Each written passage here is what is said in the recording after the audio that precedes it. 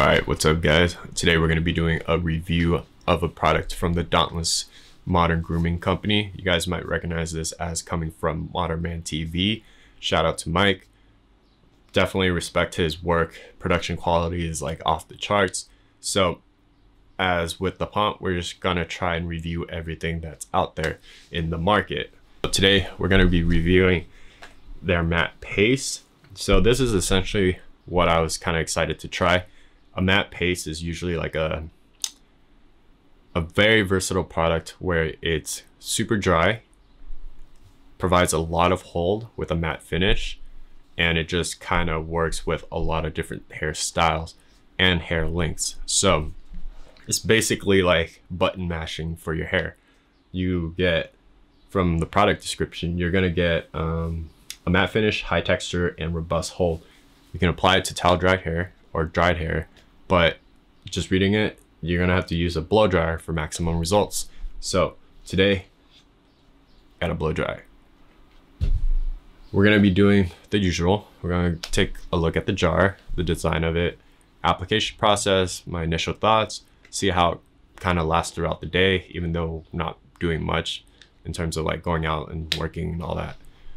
My final thoughts, and then just basically that's it. So let's go ahead and take a look at the jar. Taking a look at the jar, we see that it comes in a plastic four ounce container with aluminum top.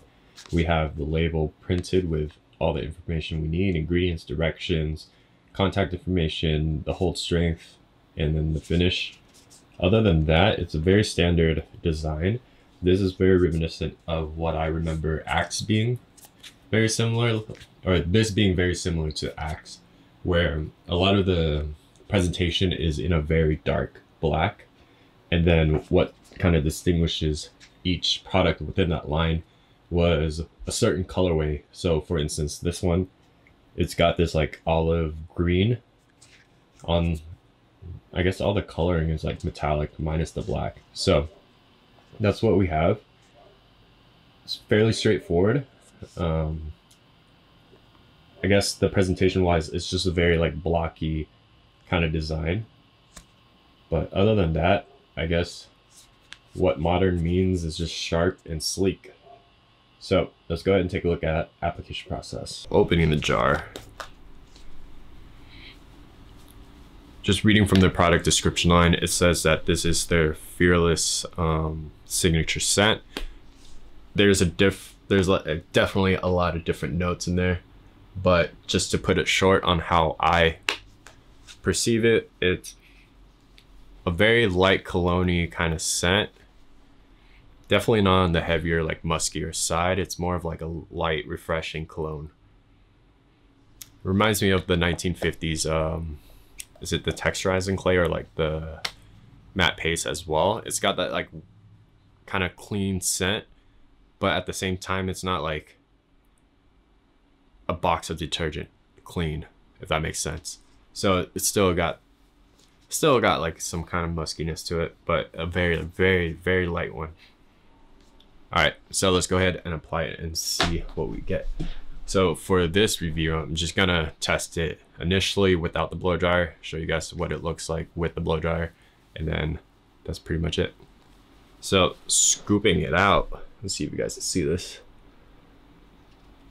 As with most matte paste, it's fairly creamy. Pretty thick, but not super watery. That kind of translates to a lot of hold spreading around. a little bit of resistance, but that's just from the dryness of the waxes and the clays, I believe. Yeah, it's pretty dry of a product, so good luck to those who are applying to dry hair, aka me right now. So, always, this is going to be the worst part. A little bit of tugging, a little bit of resistance, but given that the product has a few types of clays and waxes in it, that's kind of to be expected. So as you guys see, this is with the initial kind of scoop. This is about one scoot's worth. you get a very like relaxed kind of natural finish. I'm gonna go with two just so that we can see what maximal kind of performance this product has. So definitely matte shine so far. Pretty good hold. The dryness definitely keeps everything under control. Um, a little bit of strays here and there, but this is more for like a natural look. So can't really expect a super slick look. So right off the bat, just applying that extra scoop has definitely weighed the hair down a little bit. And when I was like say it weighs down the hair, that just means that it's going to provide a lot more control and hold. So it kind of keeps everything in place. All right. Cool.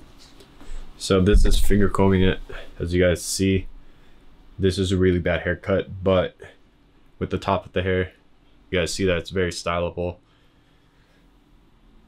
Easily moldable and placeable to wherever you want to like kind of put your hair.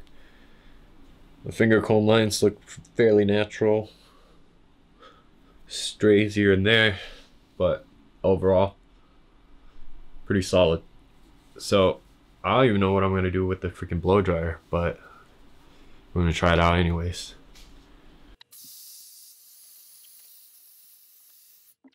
So my initial impressions of what the blow dryer does is that it definitely makes it a lot lighter in your hair. Basically evaporates every I don't even know if it has water in this still. Let me check. Sure is there some kind of like water in the product essentially is now evaporated, leaving behind this like super kind of dry look.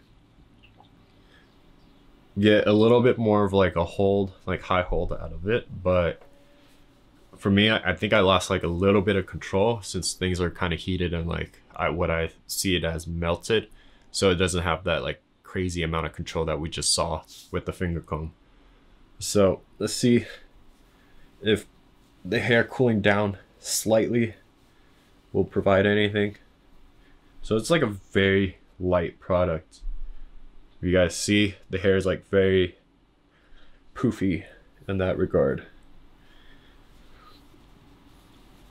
So as you guys know, I don't really like going with this kind of style, but just to give you guys an idea of what the product actually can do, here you guys go. This is pretty solid. So we're gonna revert back to the finger comb.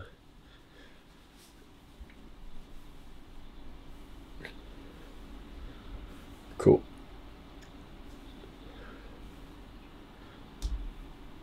So initial thoughts definitely a very solid product. It's performing as expected. Um, definitely did not expect the whole blow drying thing just because I don't really use blow dryer where the product kind of softens up a lot after using the blow dryer, but everything's just still there minus like the control of it.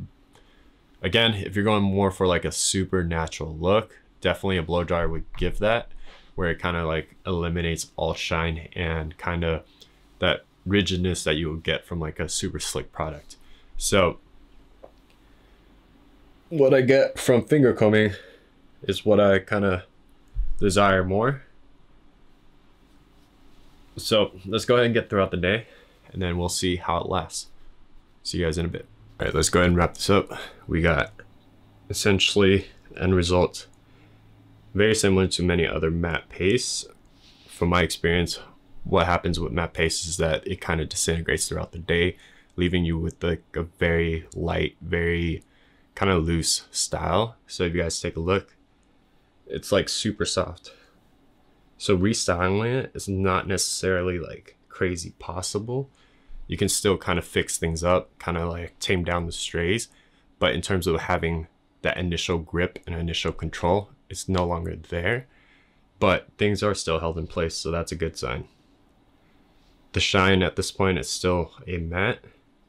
The product essentially, I have no sense of it in terms of like weight in my hair. Scent is gone.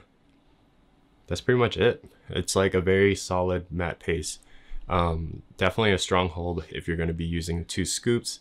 One scoop is going to be a much more like looser styling process. And then for me, as you guys saw, blow drying it had a weird effect of just making it like a lot floofier and just, I don't know, softer and looser and just like, it's just not my style. So I'm going to disregard the blow drying part. I just wanted to show you guys, just to show you guys. So next, we're either going to do the Shear Revival Amity spray or continue with the Dauntless grooming products. Um, I mean, the only other one I have is the Tribute, like standard pomade. So depends on my mood. We'll see how it goes tomorrow. All right. Peace out, guys.